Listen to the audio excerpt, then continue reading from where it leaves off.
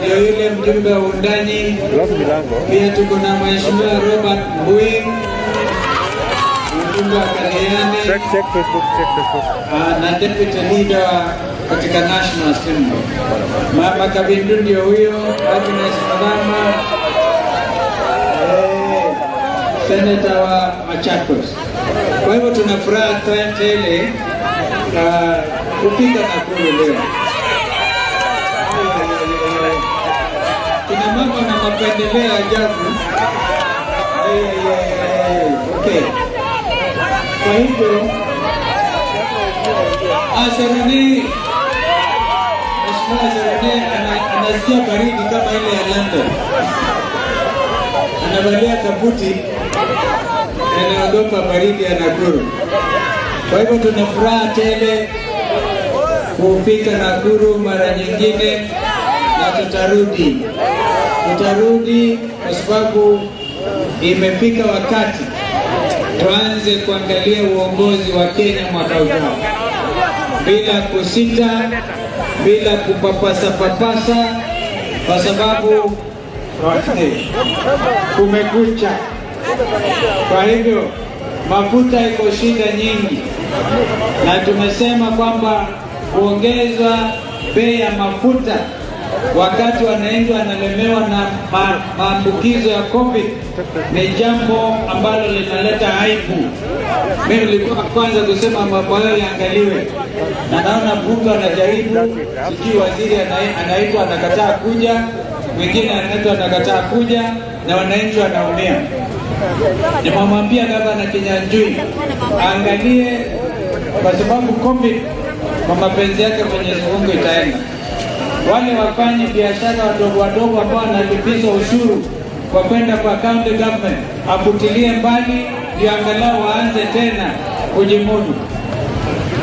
Na vijana, mnajua nyinyi Nakuru, Nakuru ni mahali pa ajabu, the smartest city in the country. Now you're talking of Nakuru County City or Nakuru City County. Ilianza 1902 ikawa township. 1952 Nakuru ikawa municipality.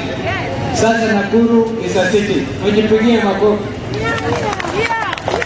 Tukiwa primary school tulikuwa ukipita mtihani unaulizwa what is the name of the cleanest city in Kenya? The cleanest town that time.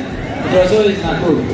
Lakini mchunge mazina mahadara watu wanaathirika kwa sababu ya ongezeko la toxins kwa hewa, climate change.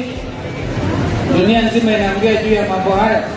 Hata jana rais wa Marekani na wa China wanaongea juu ya mambo haya. Unaona hapa ziwa Nakuru limefura, likafura, na hii ni sababu ya mambo ya climate change.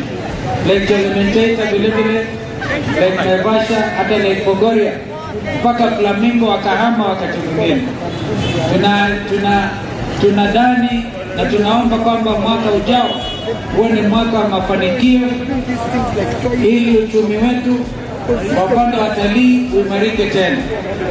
Na naona kwamba one time nilikuwa waziri wa mambo ya misitu and I was encouraging shamba system, kwa sababu ili wananchi wa Nakuru tuimarishe mazingira, forest kama yenyewe iko chini kidogo na ili tupande miti tunalima chakula na tunapanda miti. That is what I call the shamba system. Napanda Ndunguri na pengineko. Nakuru ndio Kenya, constituency zenu kumi na moja na mimi nitarudi kutembelea kila sehemu kutoka Subukia mpaka Molo, kila mahali Elbagon. Poleni kwa mpoteza mzee Muchai jana. Mzee Muchai alianza kama tau yaani alikuwa pia ni tau makanga, lakini ame- na akawacha heritage ya ajabu. Laini ya Molo peke yake wako na matatu zaidi ya mia nne na kwa na nidhamu ya hali ya juu. Kuna jambo la kujifunza ukifanya kazi kwa bidii. Mtu asije akudanganye kwamba kuanzia chini kwenda juu ama juu kwenda chini unaweza kubadilisha maisha yako. Ni lazima tuamue kwanza, adui wa kwanza Kenya ni ukabila. Kama sio kabila, Kalonzo saa hii angekuwa amekuwa president. Lakini watu wanasema wewe unaleta nini? Ati ni Wakamba Wakamba. Mimi sio Mkamba. Ukiniangalia mimi nakaa kama Mkamba. Mimi kwanza ni Mumeru, Mudaraka. Unanielewa? Eh. Kwa hivyo lazima uangalie uongozi na sio kabila la mtu, na kwa hivyo hiyo tutamaliza. Rushwa, wizi. Yaani unaibiwa, mtu anakuibia leo, kesha anakuonga na hiyo pesa yako na unamsifu. Rushwa. Ni lazima tumalize rushwa Kenya hii, ndio vijana wapate ajira. Watu wanajua dunia nzima hii, kutoka South Sudan, DRC Congo, mimi ni mpatanishi. Nitapatanisha Kenya hii, lakini yule ambaye hatutakubali ni yule ambaye anaibia wananchi na kuwadanganya kuwadanganya kwamba anaweza kuwa kiongozi sana. Mungu abariki sana watu wa Nakuru, tutarudi tena na mimi mnipatie waipa tu ndio nikalale vizuri. Waipa, waipa. Alafu kuna One Kenya Alliance, mnasikia sisi, ndugu yangu Musalia, ndugu yangu Weta, ndugu yangu Gideon Moi, tunashikana kusema one Kenya land, na ndio nasema hata President Uhuru mwenyewe na Raila walifanya handshake waingie kwa OKA, si namna hiyo? Wangapo wanasema Raila na Uhuru wakuje kwa OKA ndio tuwaonyeshe njia kwenda mbele. Kwa hivyo Mungu abariki sana, asante. Eh, baba tunamsalimia, hata yeye mwambia kuate Kalonzo safarini.